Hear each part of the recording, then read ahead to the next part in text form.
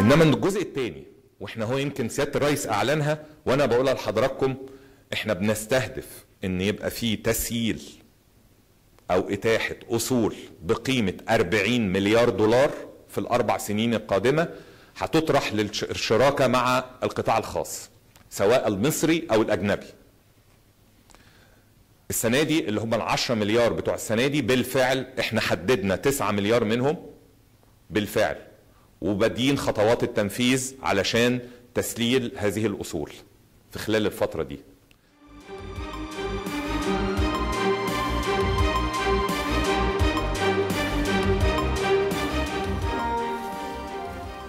بصوا بقى زي ما أنا قلت ضيفتنا العزيزة هي عزيزة جدا في الظهور تكاد لا تظهر على الشاشات.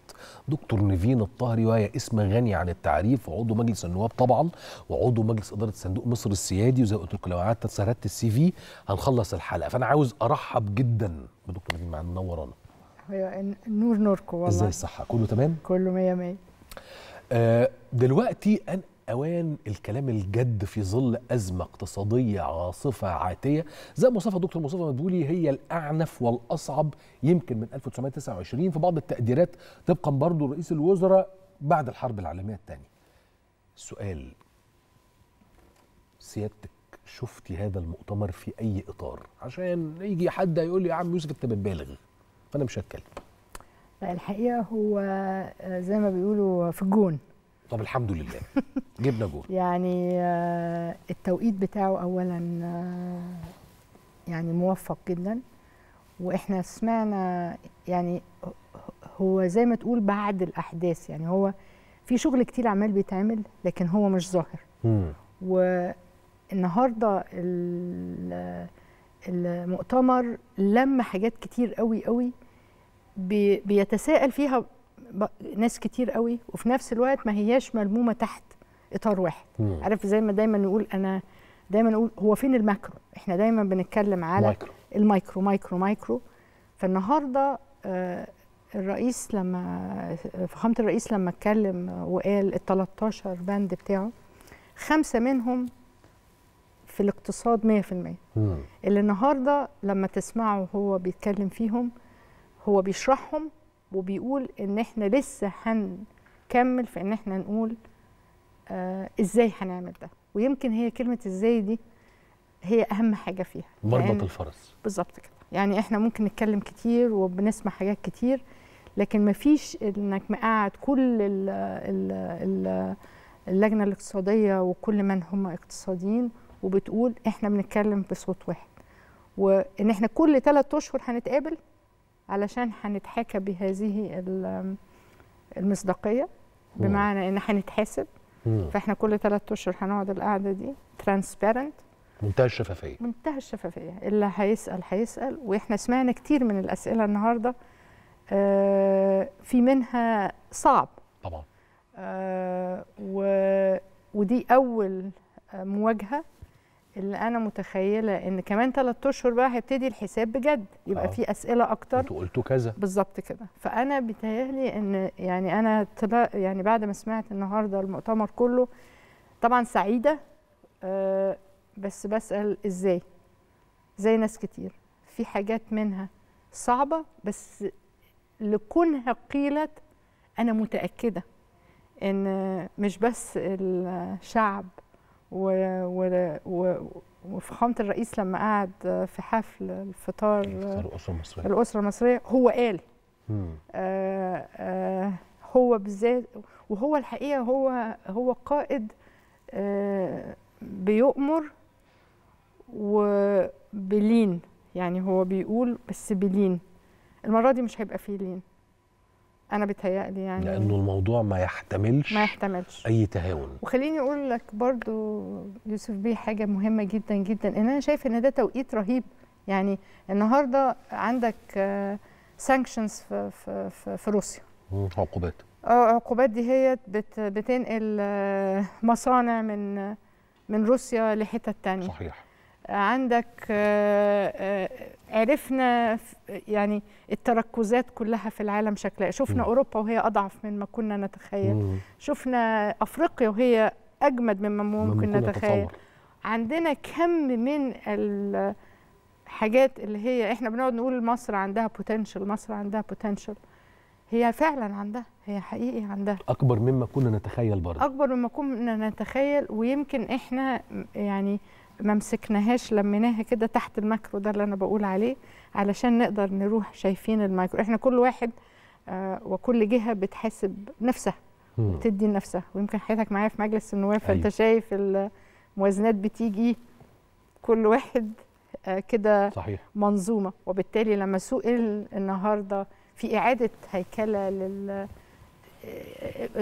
رئيس الوزراء يعني دولة رئيس الوزراء قال إن 30% بس محتاجينه علشان آه، من يدير هيكل هذه من هيكل موظفي الدولة. مش معنى كده على فكرة إن ال 70% دول ما لهمش لازمة. ممكن يعادوا تأهيلهم وممكن يروحوا في حتت تانية. مش معناه إن هم هيروحوا البيت علشان ابدا برضو ابدا محدش يلعب على أبداً. هذا الوتر. دايما بيبقى في فكر إن أنا لما أقول كده يبقى أنا معناها لازم. لو إحنا الاقتصاد بتاعنا وإحنا اقتصادنا ما هواش آه، مركز على حاجة معينة مش زي الدول اللي هي آه، فقط سياحة ولا فقط بترول ولا فقط لا إحنا عندنا الصراحة يعني يعني دايفرسيتي مش يعني في تنوع.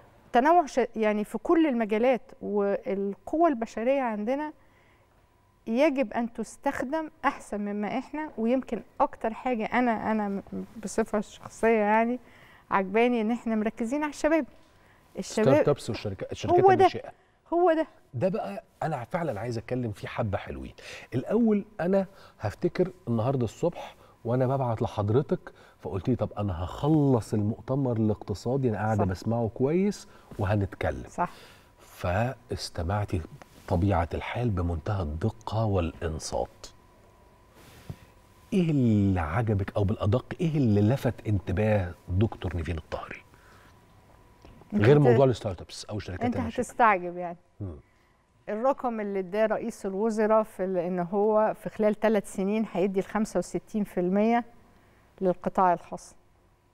مش مستعجب خالص. لو ده لفت نظري بقوة. لأن دي في حد ذاتها بتترجم كل الحاجات اللي اتقالت. هطرح في البورصة إيه؟ هحط في البورصة آه انه شركات؟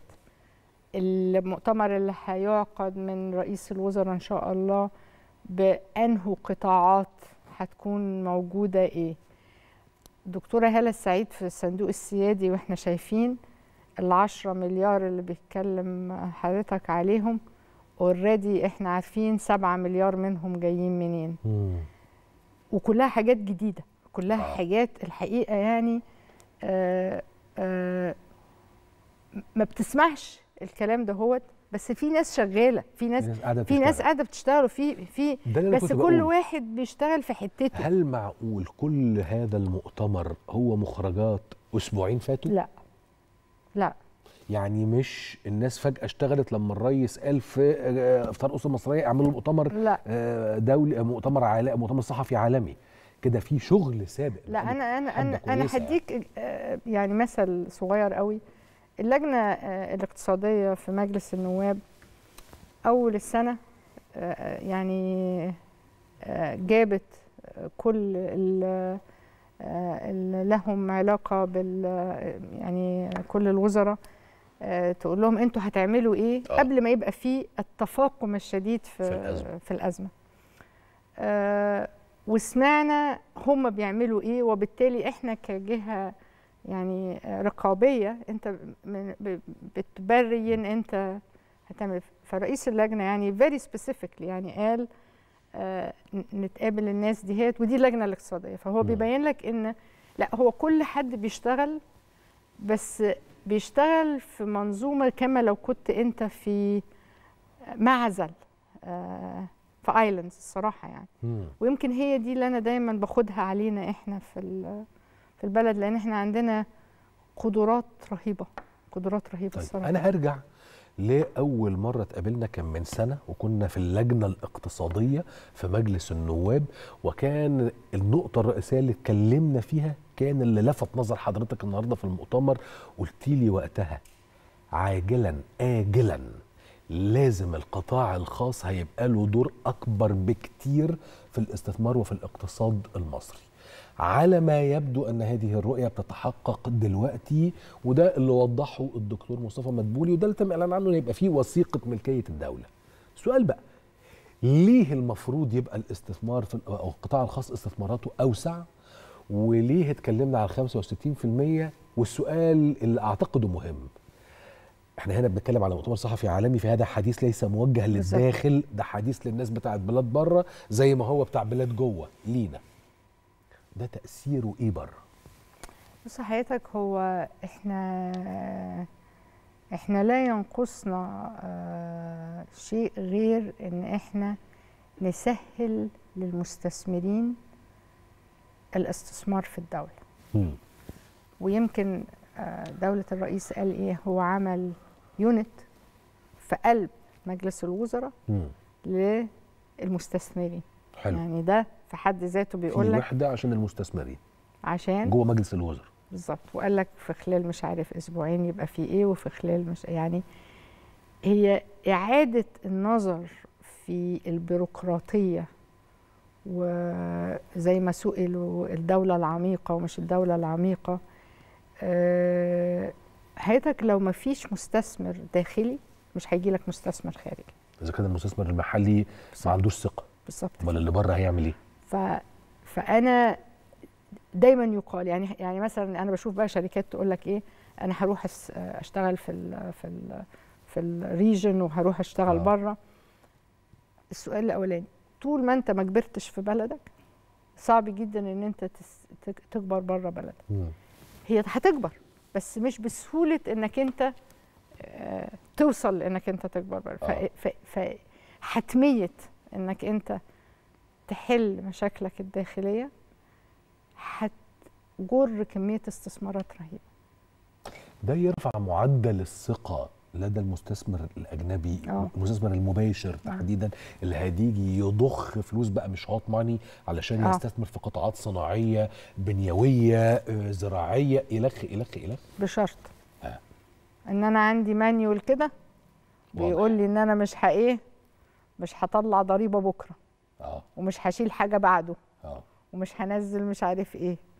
أنا النهارده بقول إن أنا الضرايب بتاعتي 22.5% بس في حقيقة الأمر ال effective rate بتاع البتاع أعلى من كده بكتير.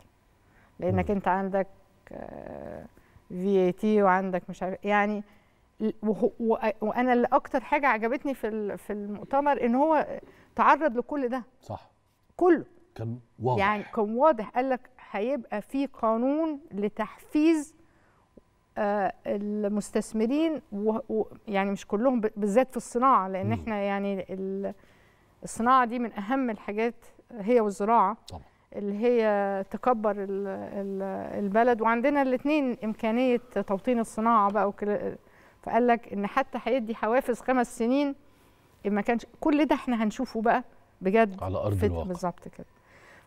ففكرة إن هو تعرض لكل اللي إحنا بنقوله ده هو هو ده أكتر حاجة كانت مشجعة إنك أنت بتقول ما سابش حاجة بس زي ما حياتك بتقول بالظبط. ده مش كلام أسبوعين ده كلام من قبل آه، بقى من قبل. كويسة. قوي ويعني شغالين عليه كتير و... و... والحقيقة كل مصري جوه وبره بيحاول يساعد علشان شايف إن دي فرصتنا اللي لا يمكن أن نتنازل عنها لأنها لو فاتتنا بصراحة إحنا هنروح في حتة تانية خالص الجزئية الأخرى اللي هو. آه، لما قلنا ال... الدولة العميقة قال إيه آه، مع آه، دولة ال... قال لك كل حاجة هتبقى digitize.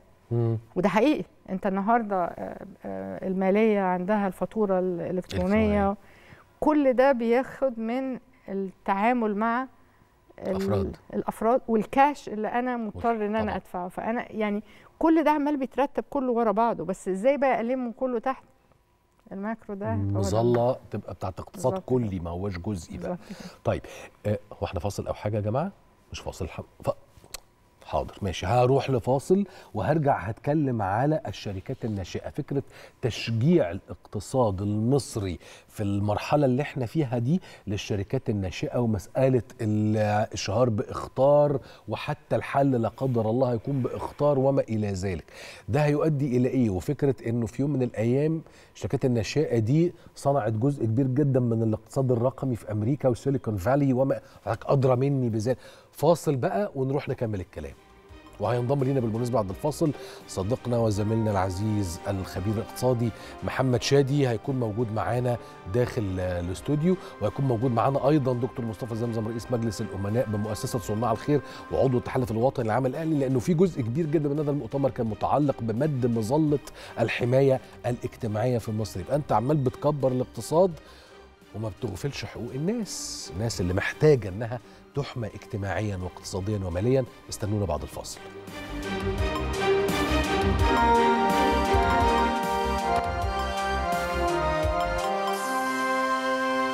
وإن يبقى في.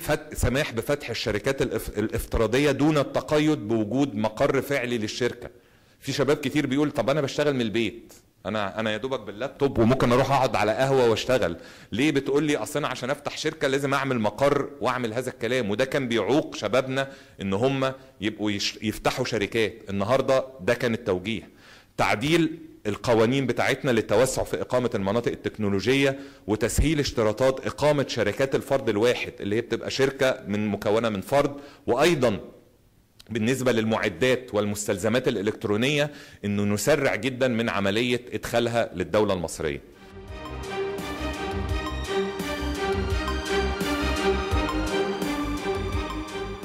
أهلا أهلا أهلا أهلا بكم معانا مرة تانية بعد الفاصل. وخلوني يعني أستأذن دكتور نيفين الطاهري في الترحيب بضيوفنا الأعزاء داخل الاستوديو. منورنا داخل الاستوديو دكتور محمد شادي الخبير الاقتصادي. أهلا بيك منور. زي الصحة بتواضعه البالغ الجم المعتاد والله العظيم.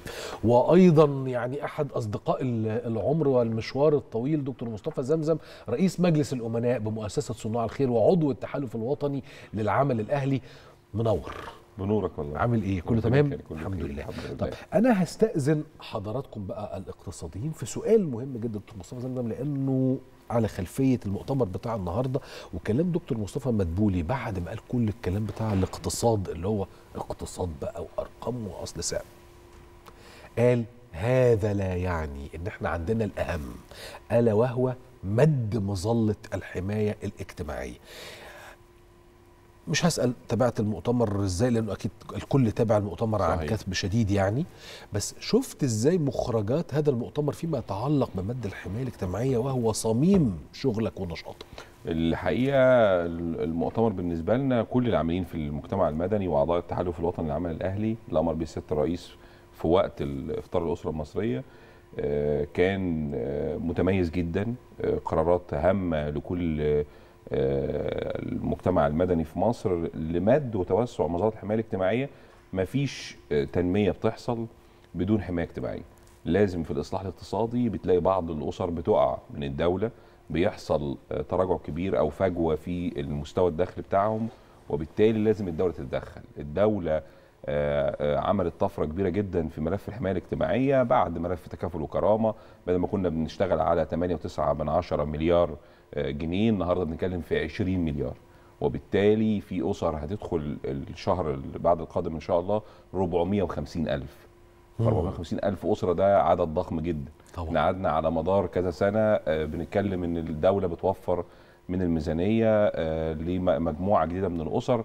طبعا زي ما حضرتك عارف أزمة كورونا أخرت كثير من صحيح الأسر. صحيح. آه، الأزمة العالمية الروسية الأوكرانية برضو حصل فجوة كبيرة جدا لدى الكثير من الأسر في آه، القرى الأكثر احتياجا. حياة كريمة الحقيقة بتلحق عدد ضخم جدا. إحنا بنتكلم على 56 أو 58 مليون مواطن في 4500 قرية و30 ألف عزبة ونجع ب 800 مليار. وده ما حصلش في التاريخ. يمكن لو دورنا كده ل 100 سنة فاتت مش هنلاقي آه، آه، عمل تنموي أو آه، بهذا الحجم. بالظبط. ما فيش في ال- ال- العصر الحديث حاجة زي كده.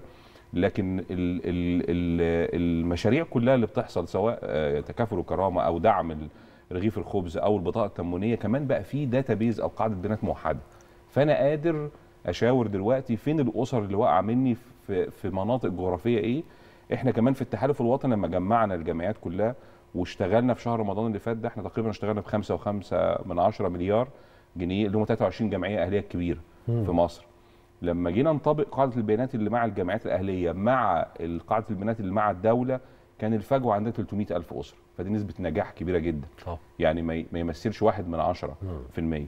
وبالتالي ال- التدخلات اللي اللي اتكلم عليها النهارده دولة رئيس مجلس الوزراء تدخل هام جدا في توسع مظله الحمايه الاجتماعيه مؤشر مهم جدا في كمان ملف التمكين الاقتصادي. لو أنا بتكلم على مشروعات آه، آه، اقتصادية لرجال الأعمال والمستثمرين كمان الجامعات الأهلية دورها يبقى دور مهم لأن التسهيلات بقت كتير. التحالف الوطني كمان عمل ورقة سياسات كبيرة جدا لتقصير المدد الزمنية في آه، الترخيص والموافقات للمشروعات المتناهية الصغر داخل القرى اللي حياه كريمة خلاص قربت على الانتهاء منها. إحنا عندنا أكتر من 1500 قرية إن شاء الله في خلال الثلاث أو أربع شهور اللي جايين هيكون كل ملفات البنية الأساسية والتحتية والمباني الحكومية انتهت. وده ملف يعني هيبقى آه طيب. انتصار كبير جدا لل- للغير قادرين في مصر. هاخد من الحتة دي مسألة مد مظلة الحماية الاجتماعية وعايز أروح لدكتور محمد شيخ مد مظلة الحماية الاجتماعية وفي إطار مخرجات هذا المؤتمر قد يستشعر البعض إنه طيب وثيقة ملكية الدولة دخول القطاع الخاص بنسب تصل إلى ال 65% فعلى طول واحد ماركسي زي حالتها يستشعر إن آدم سميث يبعث من جديد وهندخل في عصر الرأسمالية المتوحشة وحاجات زي كده. وعشان كده عجبني قوي الجملة اللي قالها دكتور مصطفى مش بقى في الأرقام بس الجملة اللي قالها ولكن الأهم هو الحفاظ على مد مظلة حماية اجتماعية. بتعتقد إزاي هيتم التكامل ما بين اقتصاد هيبقى فيه 65% قطاع خاص وفي نفس الوقت أحافظ على مظلة حماية حقيقية. طيب بداية بس كده يعني السؤال في السوادة. آه بجد والله. الفكرة كلها طيب هو ليه أصلا آه، دولة رئيس الوزراء ختم موضوع الحماية الاجتماعية؟ لأنه هو كل ما حضرتك قلت عن تحرير اقتصادي وفتح المجال للقطاع الخاص كل ما الطبقات الفقيرة والطبقات ضعيفة الدخل يعني ومحدودة الدخل في المجتمع قلت لأن الطبقات دي بتشعر بالأمان في ظل وجود الدولة. صح. الفكرة بقى كلها إنه ال- المؤتمر ده جاي مش بس عشان يخاطب المستثمرين ده هو الحقيقة جاي عشان يخاطب الداخل والخارج وجميع فئات المجتمع. فبالتالي كان لازم الخطاب يوجه كمان لجموع الشعب المصري والطبقات ال- ال- ال- الفقيرة منهم. علشان كده ال- ال- ال- المؤتمر جاي يتكلم على الثلاث فئات الفئة الأولى المستثمرين بنفسهم الفئة الثانية الجمعيات والمؤسسات اللي بتوجه المستثمرين والفئة الثانية متلقي القرار واللي هينعكس عليه اثر السياسات دي من المواطنين المصريين. حلو الكلام كده؟ حلو. طيب إزاي بقى يحصل التوازن ده؟ اولا التوازن حاصل من البداية خالص من إنه إحنا عندنا حاجة اسمها آثار التساقط. إيه آثار التساقط؟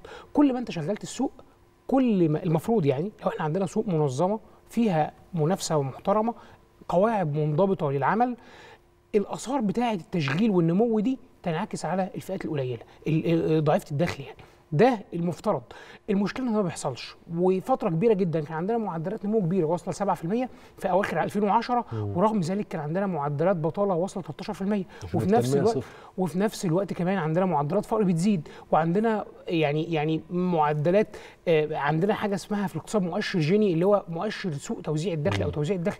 كان في أقصى درجات سوقه كان واصل لنفس الدرجة بتاعت قبل ثورة 52 اهو اسأل مصطفى زمزم يقول لي. صحيح يا. صحيح صحيح. فده بقى ده ده مش حاصل ليه؟ لأنه اولا جزء كبير جدا من ال- ال- ال- المستثمرين كان بيستثمر في أنشطة ريعية. أنشطة مش بتشغل ناس مش بتخلق فرص عمل بتستس... بيعمل استثماراته في أنشطة غير كثيفة ال- التشغيل. وبالتالي اولا أنا إذا رحت للقطاع الصناعي القطاع الصناعي حقيقي هيخلق فرص عمل فرص العمل دي هتعود مباشرة على المواطن العادي. ده في الوقت في الوضع العادي. طب المشكلة إحنا في الوضع بتاعنا دوت الوضع الاقتصادي المصري السوق محتكره بالكامل. مفيش صناعة من الصناعات إلا وفيها احتكارات. السوق مش منضبطة لأنه إحنا زي ما عملنا يعني حرية اقتصادية في قبل 2010 يعني كانت حرية اقتصادية ورأسمالية غير منظمة. المفروض في الأسواق الرأسمالية المنظمة يعني بيبقى عندنا فريقين بيلعبوا مع بعض وفي حكم واقف وسطهم. الفريقين دول فريق المنتجين وفريق المستهلكين وبينهم منظم لعملية لعملية ال- ال- السوق دي كلها اللي هم أجهزة حمايه وتنظيم السوق اللي هم زي زي مين عندنا؟ زي آه، جهاز حماية المستهلك جهاز حماية المنافسة ومنع الممارسات الاحتكارية جهاز حماية الاغراق وهيئة الرقابة المالية. الأجهزة دي باستثناء هيئة الرقابة المالية للأسف وضعها القانوني لا يسمح لها بالتدخل لضبط السوق. ليه بقى؟ لأن الأجهزة دي معظمها أنشئ في ظل ظاهرة كانت معروفة جدا في أواخر برضو في في في 2010 وما قبلها اللي هي ظاهرة زواج المال والسلطة. ال الناس اللي بتمارس المال هي الناس اللي في السلطة وبالتالي كان هدفها الوحيد إن هي تمنع أجهزة ممارسة قصدي حماية السوق دي من التواجد لتنظيم السوق لأنه كل ما الأجهزة دي جابت كل ما كان في منتجين قادرين على الاحتكار وكل ما كان في منتجين قادرين إن هم يوجهوا السوق ويستغلوا المستهلكين. اللي أنت بتقوله ده والنبي لا تاخد حضن أنا ما عملتهاش في حياتي. والله العظيم. يسلم بقك. يا أخي أنا تعبت في حياتي جدا عشان أسمع كلمتين زي كده. كمل. بس أنا مش موافقة اللي هو بيقوله ده. ما أنا كنت لسه هقول الدكتور دي عمالة بتبص مركزة مركزة مركزة. قلت إيه؟ هل هي نظرة الإعجاب؟ نختلف هي يا فندم. نظرة هو إعجاب إيه؟ بس هو ده الاختلاف. نختلف هو ده اللي عندنا ملاحظات. هخلي هخلي هخلي الدكتور محمود شادي يكمل و... وأنا فعلا قاعد عمال والله العظيم مركز عامل كده. ربنا يخلي حضرتك. آه ال- الأجهزة دي دلوقتي ال- ال- ال- الدولة يعني لو حضرتك لاحظت النهارده دولة رئيس الوزراء ركز يعني أفرض لها سلايد لوحدها عشان يقول إن واحدة من أهم الإجراءات اللي هتحصل إن إحنا نعيد صياغة الدور بتاعها. وعلى فكرة الدولة مش بادئة النهارده ده بادئة من سنة ونص فاتوا لما حصل تعديل جوه مجلس الوزراء لقانون آه، آه، قانون جهاز حماية المنافسة يتيح للجهاز التدخل في منع صفقات الدمج والاستحواذ إلا بعد يعني يمنع الشركات من من الدمج والاستحواذ إلا بعد اختار الجهاز. واختار الجهاز هنا اختار مسبق يتوقف عليه عملية الدمج والاستحواذ. وال وال وال مش موافقه ط- طب خليني أكمل وحضرتك وحضرتك آه، طب نجمع ملا... قولي لي يعني ممكن اشتغل سكرتير الجلسة. وأنا هجمع والله ملاحظات بجد. بس أنا مستمتع جدا بهذه النظرة. واللي هو إيه أنا في انتظار اللحظة اللي يوسف هيقول لي دكتور. آه، آه، ده ال- الجزء الثاني إن إحنا نفعل دور الأجهزة دي ونخليها قادره على فكرة مظهر تاني برضو من المظاهر دي هو ال- اللي الناس كلها حاسة بيه في الفترة الأخيرة من تدخل جهاز حماية المستهلك في سوق السيارات. اللي هو تسعير وضع التسعير على على صحيح. السيارة. وتاني حاجة منع ظاهرة أو محاولة منع ظاهرة ال over price لسه ما. اجدتش بس إن شاء الله توجد تمام؟ ده ال ال ال ال النوع الثاني من التدخل لصالح اللي هو مد مد مظلة الحماية الاجتماعية. إذا السوق انضبط هيبقى فيه جزء كبير جدا واصل بالحماية إلى ال- ال- ال- المستهلكين وتنظيم للسوق يسمح للمستثمرين وده بالدخول ويخلق فرص عمل أكتر. ده الجزء الثاني الجزء الثالث الإجراءات اللي اتخذتها الحكومة مؤخرا علشان تسمح بشكل كبير جدا ب يعني القضاء على ظاهرة الاستيراد الجائر ووضع معايير الاستهلاك. زي مثلا إنه الرئيس كان برضو من حوالي سنة كده قال إن إحنا هنرفع معايير ال- المنتجات المصرية لتوازي نظرات الأوروبية عشان الناس نمنع تدخل. ده يصب في مصلحة المستهلك اللي بيدفع فلوس في سلع عديمة الفايدة. الحاجة الثالثه بقى والأخيرة خالص إنه الجانب الاجتماعي المباشر اللي كان الدكتور بيتكلم عنه دلوقتي إنه إحنا هنزود الأجور هنزود المعاشات والرئيس يعني دولة رئيس الوزراء اتكلم النهارده على رقم مباشر تماما 190 مليار جنيه السنة الجاية متزايدة لمدة 50 سنة علشان نقدر نسدد آه، آه، أموال هيئة التأمينات الاجتماعية يبقى الموضوع كان له جانبين جانب بيخاطب المستثمرين بذاتهم بذواتهم وجانب بيخاطب المستهلكين وجانب بقى بيخاطب المؤسسات اللي بتعمل على توجيه المستثمرين عشان بس ما اطولش أوي. طبعا أنا جدير. بس بالذكر إن في مؤتمر بالمناسبة لجهاز حمايه المستهلك يوم الاربعاء الجاي أظن هيبقى طالع فيه مخرجات مهمة جدا دكتور نبيل. اتفضل يا فندم.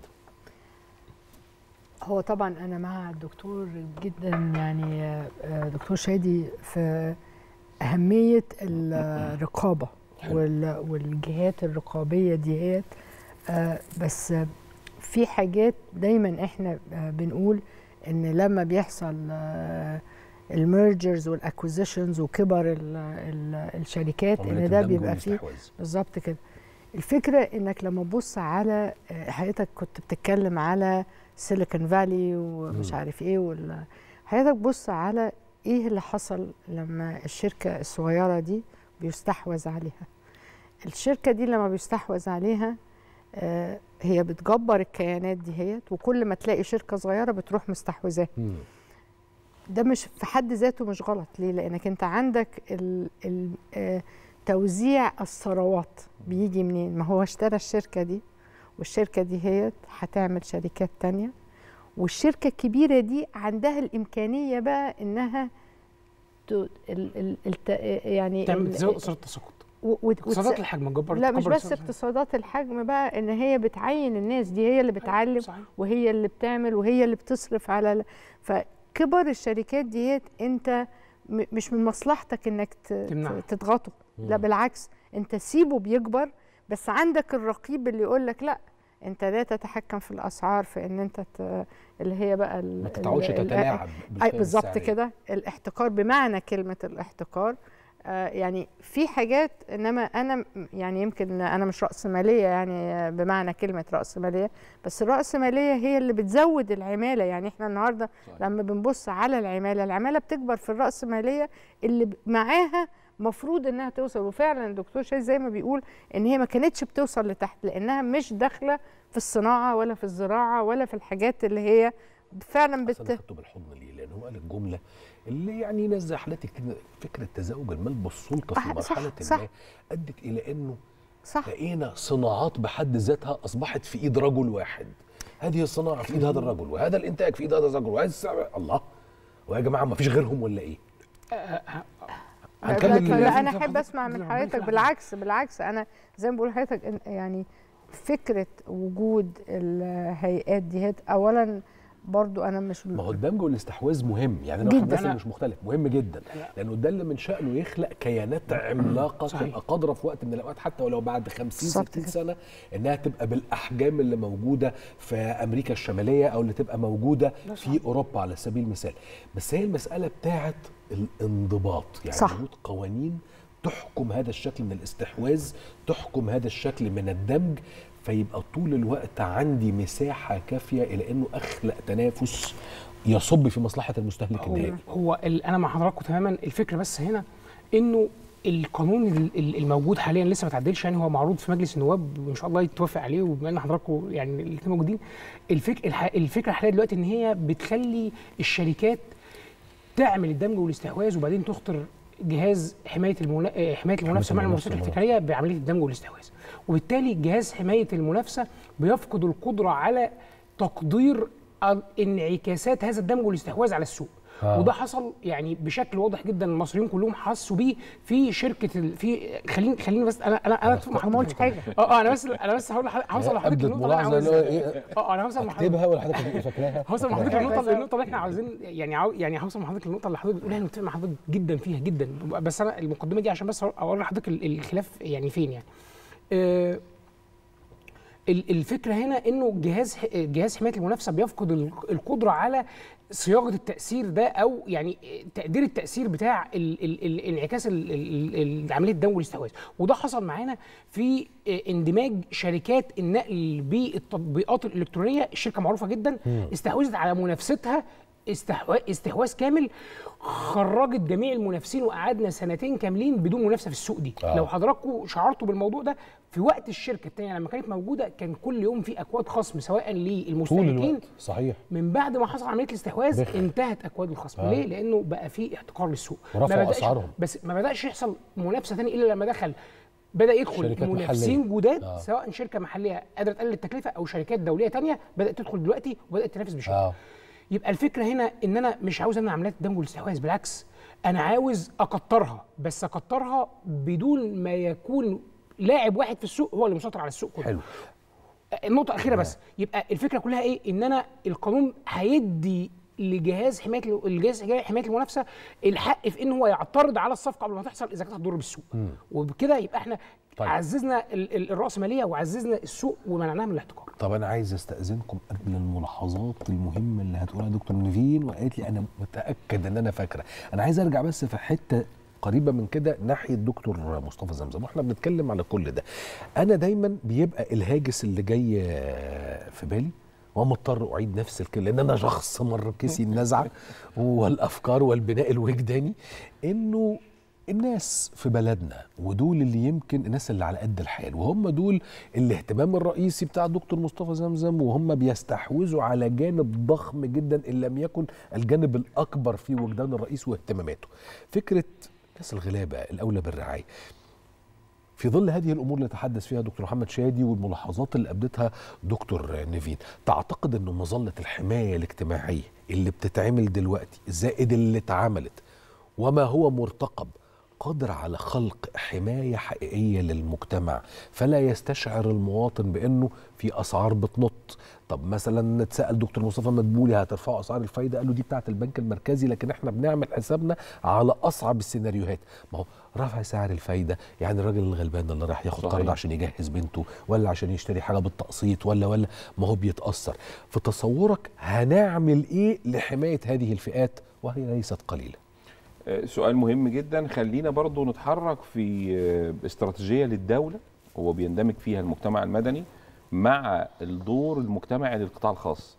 ما ينفعش القطاع الخاص يكون بيشتغل والدولة بتسهله وبتديله رخص وبتطور من أدائه وبتعطي فرص كبيرة جدا للدخول كمان في الأصول اللي بتملكها الدولة. ومفيش لهم دور مجتمعي. لو القطاع الخاص هنا ما بيساهمش مع المجتمع المدني مع الدولة هيحصل فجوة كبيرة جدا لدينا في أعداد الأسر اللي هتخرج بره مظله الحماية الاجتماعية. ولكن مش هنفضل بنعطي أموال ومرتبات ومعاشات وندخل تكافل وكرام يعني دلوقتي القرار الجديد إحنا نشوف الأسر القادرة على العمل هنبدأ نمكنهم اقتصاديا. يبقى في تمكين آه اقتصادي. وده اللي بدأ يحصل دلوقتي. مش الهبة. لا خالص. النهارده في أسر غير قادر اخرجهم بره مظلة المعاش أو المرتب الشهري. إحنا بنصل في تكافل وكرامة يمكن متوسط 1500 جنيه حسب الأطفال اللي في التعليم. كل طفل المرحلة الابتدائية بياخد 80 المرحلة الإعدادية بياخد في الشهر آه، 100 هكذا يعني بع- بعض ال- شرائح. الم- الشرائح ولكن خلينا بقى ندخل لهدف رئيسي يمكن كان مكلف بيه سياده الرئيس من أربع سنوات دلوقتي إن إحنا مين اللي قادر على العمل؟ إحنا عندنا تقريبا حوالي 70% من اللي بيتلقوا تكافل وكرامه سيدات وبالتالي هم معيلات لأسرهم. الزوج متوفي في حالة هجر في حالة طلاق والهجر ده يعني معلومة كمان إن بقى المنتشر عندنا إن. الرجل بيترك الأسرة آه. وما نعرفش عنه حاجة إحنا بقى كمان منتشرين في القرى كلها فبنشوف حالات جديدة شوية سقط على- سهوا. بالظبط آه ما إحناش آه لاقيين. لأن هو ساب الأسرة ومحدش عارف هو فين وبالتالي إحنا دلوقتي المس... الأسرة مسؤولة مننا كمجتمع بشكل كامل صحيح عاوز أحيي إن القطاع المصرفي والقطاع الخاص المصري الثقافة بتاعتهم في العمل المجتمعي اتغيرت ما هيش فكرة إن أنا النهارده باجي أقول أنا طلعت مليون جنيه ولا 10 مليون لا إحنا عندنا مساهمات. على سبيل المثال وده مش إعلان يعني البنوك الكبيرة الحكومية بنك الأهلي وبنك مصر والبنوك البنك القاهرة وغيرهم في مساهمات تصل لاكثر من 10 مليار في العمل الأهلي في مصر. و- وده ده ده شيء لازم نشيد بيه لأنهم بقوا مدركين لمسؤوليتهم المجتمعية. الفكرة مش أنا قطاع مصرفي متفرغ فقط للمكسب والخسارة وال- والقروض وبعض المشروعات الخاصة بال SM اللي هي هنقرض وهنبدأ نشتغل على الشركات الصغيرة اللي بتشتغل في الإقراض صغيرة لا متوسطة. آه أنا آه. آه. شغال مع المجتمع المدني الجاد في خدمات آه، آه، طبية وتمكين اقتصادي واجتماعي وتعليمية وبيئية والاقتصاد الأخضر هنا كمان بقى له آه، آه، دور كبير جدا لدى ال- القطاع الخاص فبدأنا نوفر قاعدة بيانات كبيرة جدا مين القادرين على العمل وبدأ يتمكنوا اقتصاديا وإحنا يمكن عندنا عملنا آه، الحمد لله بادرة كويسة جدا مراكز استدامة في كل القرى اللي انتهت فيها حياة كريمة. بننزل دلوقتي مصانع السجاد والمنسوجات ونفس التجربة بتاعت أخميم. بنبدأ نعممها وعملناها دي في الفيوم والبدرشين وفي أسوان وفي قنا آه، مراكب للصيادين وثلاجات لحفظ أسماكهم وتسويق المنتجات بتاعتهم نشوف العمالة الغير منتظمة فين ونبدأ نمكنهم حقيقي حلو. ونأمن عليهم يعني مش مجرد إن هو النهارده هياخد المركب والثلاجه موجودة فبيحفظ المنتج بتاعه لأ أنا بفكر لازم يكون تأمين ضد الحوادث ضد الغرق ضد أي مشكلة بتحصل له آه. وده الحقيقة كمان بتساعد فيه آه، وزارة التضامن ودكتوره نيفين قباش بشكل كبير السيد الرئيس أطلق مبادرة اسمها بر الأمان من وزارة التضامن وصندوق تحيا مصر ودخلت فيها الجامعات الأهلية دلوقتي شريكة. فبدأنا نعرف عندنا كام آه، مليون عمالة غير منتظم. لما حصلت الكورونا والمجتمع المدني بدأ آه، يحصر اللي عاوزين مرتبات شهرية عشان خاطر هم فقدوا أعمالهم وده كان عدد كبير مش قليل. كان قطاع البناء والتشييد بدأ يقف بشكل كبير وده الحقيقة بيحمي أكتر من 5 مليون آه، آه، مواطن رجعوا من ليبيا ورجعوا من العراق ومن صحيح. سوريا ودول كتير جدا حصل فيها مشاكل وده الحقيقة ما كانش في حسبان ال- الدولة في الوقت ده إحنا فوجئنا في يوم وليلة إن جاي لك 3 مليون صح. أو 4 مليون بني آدم لازم يدخلوا مظلة الحمايه الاجتماعيه لا توفر فرصة عمل وده كان بيتكلم عليه الدكتور مصطفى مدبول إن إحنا لو ما فيش القطاعات دي شغالة إحنا عندنا أزمة كبيرة إيه؟ جدا هنعمل إيه؟ بالظبط طيب أنا هستاذن هروح لفاصل. عايز أرجع بعد الفاصل بقى لدكتور نيفين. واضح إن في مثلا على الأقل بتاع سبع ثمان تسع عشر ملاحظات. فاستنونا لو سمحتوا بعد الفاصل مع ضيوفنا الأعزاء دكتور نيفين الطهري دكتور محمد شادي دكتور مصطفى زمزم. في واحدة من أروع الموائد المستديرة اللي أنا اتشرفت إن أنا أكون قاعد فيها باعتباري سكرتير الجلسه. لا والله بجد. فاصل ونكمل الكلام.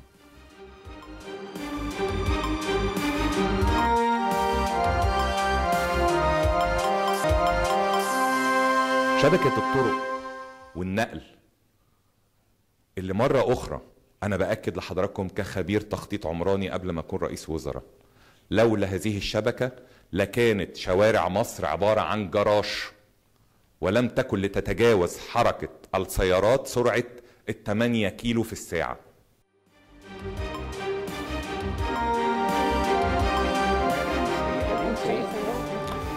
اس ار بتاع هقول. لكم ليه سيئة لكن بعد ما الحلقة تخلص. ف... خلوني أرحب بحضراتكم مرة تانية وبضيوفنا الأعزاء داخل الاستوديو. قلنا هنرجع أو نعود مرة تانية للدكتور نيفين الطاهري لديها ملاحظات حول الكلام اللي تفضل بيه دكتور محمد شادي اتفضل يا فندم. هو أنا ما عنديش ملاحظات بمعنى ال ال الرقابية وبالعكس إن ما في الحاجة اللي غير مراقبة بتفلت عن ال- آه، وإحنا شفناها كتير وشفناها في حاجات كتير. إنما فكرة إن أنا لازم آخد موافقة قبلها قبل ال- الاستحواذ مثلا مم. لا لازم يبقى تايمد بقى. أقول إن أنا ليه؟ لأن أنت عندك مستثمر جاي بيقول أنا هشتري الشركة دي. وفي نفس الوقت أنا بشوف إن ويمكن ده اللي كنت بقول لحضرتك يعني أنا كل ما بكبر ال ال ال الاستحواذ ففي جهات مش لازم أكون بحتكر. يعني أنا موافقة إن ما يبقاش احتكار إنما اللي بيحصل إن الشركة دي بتكبر بت بيبقى العمالة أكتر بيبقى التدريب أكتر وبيخلق ويلث بقى يعني بيخلق ثروة. ثروة للي بي- بيشتريه ده هو بحيث إن هو يبتدي يعمل الشركات الأخرى ويخش في حاجات تانية. ففكره ال- آه، آه، جهاز حماية ال- ال- المنافسة.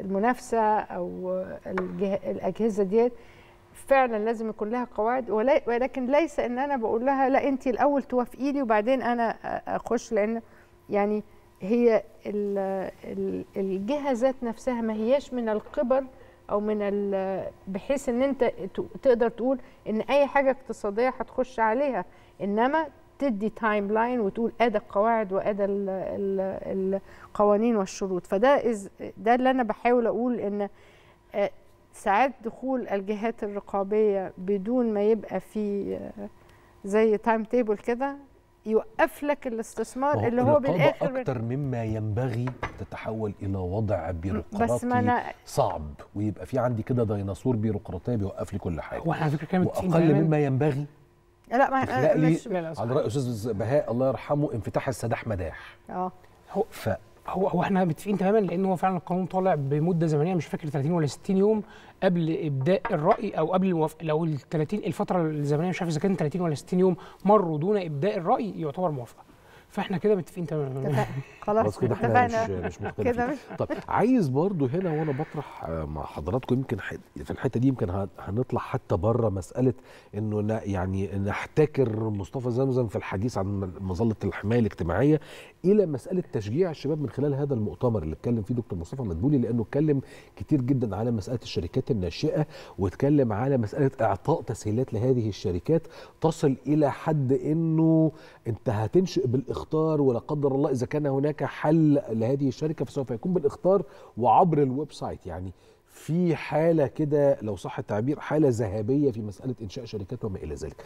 دكتور نيفين تشوفي ده إلى أي مدى يشجع الشبان على الخلق والتفكير والإبداع وإنه يبقى متشجع وقلبه جامد إنه ينشئ لدرجة إنه لو فلوسك غير قادرة إنك تخلق مقر فاعمل الشركة بتاعتك افتراضيا.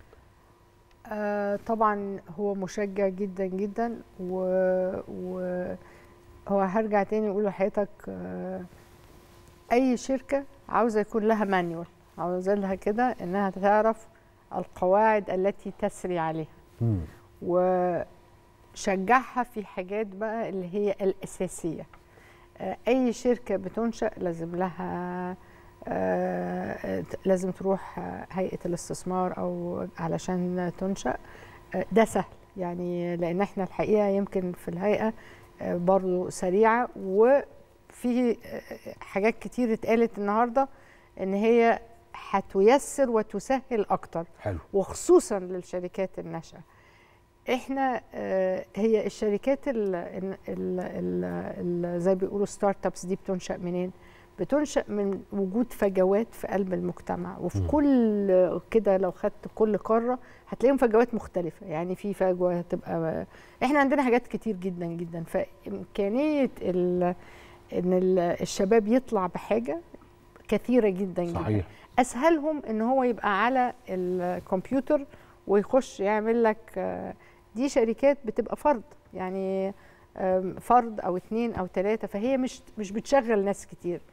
إنما في نفس الوقت هي دي اللي بتخترع واللي هي بتديها الكرياتيفيتي إن أنت ت... فأنت النهارده المنظومة اللي بيتكلم عليها التكنولوجية وال...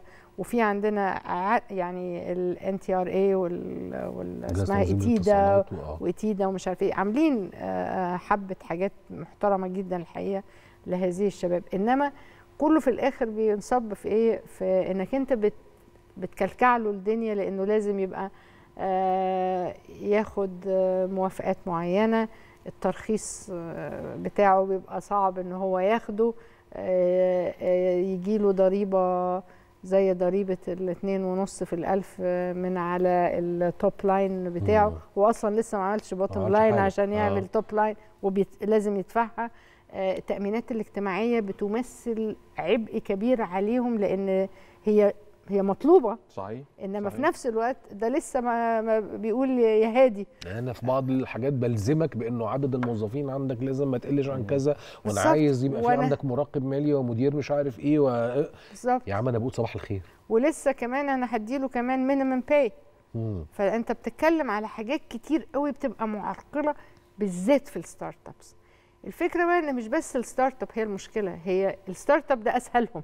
لأن في فلوس كتير صحيح. في ال seed money حلو. إنما هي عشان أعمل ال- seed fund بالظبط آه. كده هو اللي بعد كده بقى أنا قومته وأنشأته وبعدين سبته. ده بقى بيحبط ومش عارف يعمل إيه ولازم يقفل ولازم يتخرج. في قانون الإفلاس اللي هو فعلا اللي لم يفعل. القانون. وبالتالي كل يعني يمكن إحنا بنتكلم أصلا في أعقاب المؤتمر وال والحاجات اللي قالها مفيش حاجة النهارده آه، ذكرت فعلا ما غطتش كل الحاجات اللي إحنا بنشوفها في قلب السوق. طيب أنا هنا قبل ما أروح لدكتور محمد شادي هرجع لدكتور مصطفى زمزم علشان بتشوف كل يوم خلال السنين اللي فاتت من وقت ما بدأت هذا العمل الاجتماعي تقريبا من 23 سنة دلوقتي حاجة زي كده. و و وطول الوقت انت كنت في مرحلة كنت شاب صغير وبالوقت بدأت تشوف وبدأت تخش في مسألة تطوعية وبتدرب وبتساعد وما إلى ذلك. في كم أفكار مهول لدى الشبان اللي موجودين في مصر؟ وعلى اختلاف النسق التعليمي ومستوياته. بتعتقد إنه مسألة الشركات الناشئة دي هي حالة دافعة ولا قد تؤدي إلى زحمة أكتر مما يجب. ناس بتعمل شركات وبعدين تقفلها تاني وما إلى ذلك. وإذا حتى كده هل ده مضر بشكل أو بآخر؟ بالعكس ده أكبر قرار محفز آه إن أنا أضم الشباب دول ليا كدولة. النهارده أنا أنا ليا أصدقاء كتير جدا كانوا بي- بيبقوا معانا مت- كمتطوعين وهم خريجي بعض الجامعات الأجنبية وبيفكروا في أفكار مختلفة تماما حتى في العمل الاهلي وعلى المستوى الشخصي هو عاوز يشتغل وعاوز يكون له دخل ثابت. طبعا. آه، بيخرجوا لدول وإحنا عارفين أقرب الدول لينا زي الإمارات مثلا في آه. دبي. موضوع مفتوح ليهم جدا. آه، في- الشركات الافتراضية هناك كده. بالظبط. وبالتالي أنا مش مضطر كل واحد فيهم أو اتنين تلاتة مع بعض لازم مقر والسجل التجاري والبطاقة الضريبية في خمس سنين على الأقل من الضرايب ده كنا بنقوله قبل كده. مم. أنا عندي شركة بشتغل من 10 12 سنة في شركتي. أول خمس سنين بالنسبة لي أنا ما فيش net profit أنا مم. عشت كلها عاوز أشوف التأمينات وأشوف الإيجارات وأشوف المرتبات والمادة الخام اللي أنت عاوزها. بتلاقي نفسك في آخر السنة هو أنت مضطر إنك تحافظ على الناس اللي معاك اللي دربتهم وتعبت آه، معاهم وخايف تستغنى عنهم. وعاوز تملكهم أصول في الشركة بتاعتك عشان يبقى في فكر مختلف إن له طبعا. 5% و3% دي شركتي. بالظبط. آه. هو مش موظف. وبالتالي الموضوع صعب. إحنا كشباب بدأنا الموضوع بصعوبة جدا والمعاناة اللي عانيناها بنحاول ننقلها للمسؤولين. يا جماعة ادوا لهم فرص مختلفة. اللي كان عندنا كان ممكن حد بيساعد شوية معاك ليك فرص معينة بتحول التهديدات اللي عندك ل آه، آه، فرص كبيرة تقدر تستغلها وت- وت- وتتكسب منها بشكل آه، مقنن. لكن بعد خمس سنين تقدر تضمهم وتدخلهم آه، إطار الدولة والشكل القانوني واستفيد من الخبرات ومن ال- المشاريع اللي هيقدموها لأن هم بصراحة سابقينها بكتير وعندهم أفكار مختلفة بشكل آه، بيثير الدهشة. يعني أنا النهارده لما بنقعد مع مجموعة منهم آه، بيشتغلوا في كندا وأمريكا من هنا ب application معين فرص كثيرة منتشرة. إحنا مش واخدين بالنا كدولة. إحنا بندور على ال blogger وعلى ال influencer وعلى حاجات نجمع منها ضرائب. ده مش ال- ال- الغرض ابدا. في عندنا مليون بني آدم عاوزين كل سنة نوفر لهم فرص عمل. منين وإزاي؟ قطاع التشييد والبنى اللي بيحصل في المدن الجديدة مش هيستمر بالشكل اللي كان موجود عليه قبل كده. لو بنتكلم على مشروعات قومية كبيرة وخدمات بتقدمها وإن. استمر؟ أنا مش هفضل بعتمد على قطاع اقتصادي واحد يعني. صحيح صحيح ده كلام مهم. والنهاردة كمان ال- المجمعات الصناعية الكبرى الشباب مش رايحين لده. الحقيقة. لأن برضه هنرجع تاني هو التعليم في البداية كان إيه؟ مم. هي المدارس الفنية اللي إحنا بدأنا نفكر فيها دلوقتي. إن كل شركة كبيرة مجموعات صناعية معينة بتبدأ تعمل المدارس بتاعتها وتخرج منها الشباب اللي محتاجاهم في الجزء الفني. لكن الشاب اللي متخرج بقى في الجزء الثاني بتاع إدارة الأعمال وبتاع البيزنس وإلى آخره هو تفكيره مختلف. فاديله الفرص دي. مش ضروري ابدا يكون له مقرات ولا ضروري تكون الدولة أنا قاعد النهارده رقيب عليه والضرايب بتاعتي فين مستحيل. أنا أنا بخرج في آه، آخر السنة بلاقي نفسي تقريبا في 35% 40% الدولة شريكة معايا. أنا كشاب بشتغل إزاي؟ هتكمل الفرصة بتاعتك إزاي؟ مستحيل. فبتلاقي الفرص آه، في الجانب الآخر متاحة ليك خارج مصر أسهل بكتير. الضرايب قد تكون آه، مش موجودة. أنا بس بعمل لك فاسيلتي كتيرة جدا فبشجعك. فبخرج. وعندنا نماذج من الشباب اللي إحنا بدأنا ندعوهم دلوقتي يحضروا معانا في. مؤتمرات الاستثمار. مصريين آه، عاملين إنجازات ما عملهاش رجال أعمال عايشين في مصر من 40 سنة صحيح يعني ف... صحيح حصل وأنا لو ممكن برضو أزود إن الجامعات نفسها جامعات في كل يعني إحنا النهارده عندنا جامعات ما تتخيلش بيطلع منها شباب شكله صحيح إيه طبعا. صحيح أسيوط هو ده. و- آه، ده صحيح. ومنصورة آه آه آه. ويا- يا- بجد لو خدت جميع ال- الشباب الفكر بتاع إن أنا آه، صاحب عمل أو أشتغل في شركة ناشئة أصبح حاجة جميلة جدا لإنك بتطلع من كل كل قرية فيها آه، مظبوط حاجة مختلفة مظبوط. يعني في اللي بتاع و- السمك وفي اللي بتاع صحيح. ال- والخروج الزراعة. بره التصور بتاع لازم تكون خريج جامعة أجنبية. أو دولية أو بتاع لأن أنا شفت ولا مثلا ولا لا لا خالص ال startup ده كانوا كاتبين عنه فوربس باعتباره واحد من أهم تسعة startups حصلت في أفريقيا والشرق الأوسط كلهم جامعة اسكندرية. يعني اللي هو في دمياط والله يعني. دمياط في في مش في جامعة غالية وبتاع لا- لا- لا- خالص لا- لا. والشبان إيه وعندهم 19 سنة برضه آه. بستغرب. اللي عندي عباقره كده إزاي؟ اشمعنى أنا ما طلعتش عبقري؟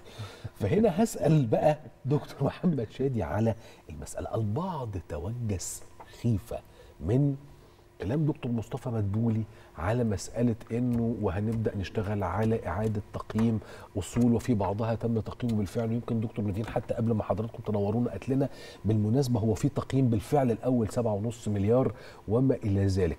الخيفة الطبيعية بتاعت أي مجتمع وبالذات مجتمع زي بتاعنا يعني ياما دقت على راس طبول. يقول لك إيه؟ يعني إيه اللي هيحصل؟ يعني إيه اللي هيتباع بالظبط؟ أنتوا بتعملوا إيه يا جماعة؟ فهنا خليني أفهم منك. مسألة إعادة تقييم الأصول وتسييلها. يعني إيه؟ طيب. يعني هنروح بعد كده دكتور فينا تقول لنا يعملوا بقى في الصندوق السيادي. كلام جدا. آه. طب ببساطة خالص كده تخيل حضرتك دلوقتي آه، أنا مثلا وأنا عندي 20 سنة قاعد بشتغل بشتغل كده بيجي لي دخل كل شوية الدخل بتاعي ده بجمعه في شوية أصول بشتري عقارات بشتري أراضي زراعية بشتري بيت بشتري شوية ذهب وهكذا. جيت وأنا عندي 45 سنة وأنا معدي الطريق عربية خبطتني ما عدتش قادر على ال- ال- الدفع. عندي أزمة سيولة دلوقتي. أول حاجة بلجأ ليها حاجة من الاثنين يا إما أقترض علشان أعالج نفسي وأمشي الدنيا يا إما أسيل شوية من الأصول بتوعي دول. أسيل شوية من الأصول دول يعني حول الأصول اللي اتجمدت معايا لحالة السيولة من تاني. أرجعها فلوس. حلو. هو ده اللي يقصد بيه موضوع التسهيل طب هو ده إيه موقفه من الإعراب؟ إيه موقعه من الإعراب من اللي بيحصل دلوقتي في البلد؟ إحنا الأزمة اللي مصر عايشاها دلوقتي أو الضغط اللي مصر عايشاه دلوقتي هي في الواقع أزمة نقد أجنبي. في قلة نقد أجنبي في السوق داخل السوق المصري بالنسبة للاحتياجات المصرية. هل ده معناه إن إحنا ما عندناش نقد أجنبي؟ لا إحنا عندنا نقد أجنبي يكفي احتياجاتنا لخمس شهور. بس المشكلة إن الأزمة إحنا مش عارفين تنتهي إمتى؟ وفي نفس الوقت ايراداتنا من النقد الأجنبي متأثرة ومضغوطة بسبب الأزمة يعني العالمية. الأزمة العالمية. فبالتالي أنا طبيعي جدا أعمل حاجة من الاثنين يا إما أروح أقترض يا إما أسيل جزء من الممتلكات اللي أنا حوشتها في خلال عمر الأمة المصرية كلها.